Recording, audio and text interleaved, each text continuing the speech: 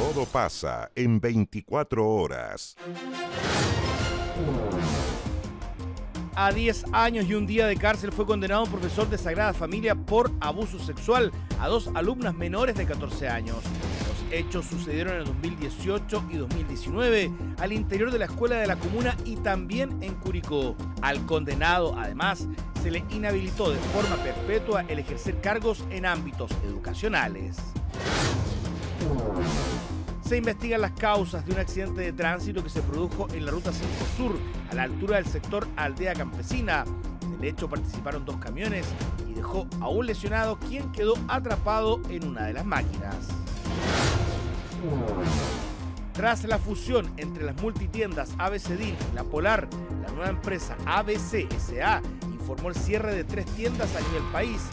Se trata de los locales de Curicó, La Serena y La Florida. Un comunicado dirigido a los trabajadores se detalló que se está priorizando la reubicación de los empleados en la medida de lo posible.